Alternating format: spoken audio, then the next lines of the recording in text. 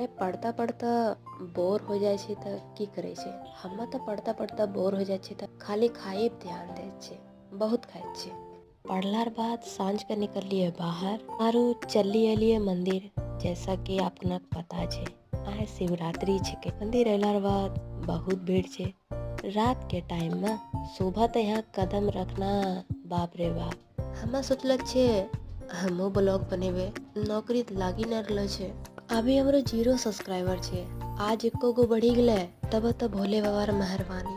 वैसा भोले बाबा रे बराती में के के गेलो लाइक ना? कमेंट करते जरा। बाकी अपने नज़ारा देखिए रहलो छे, कैसा छे?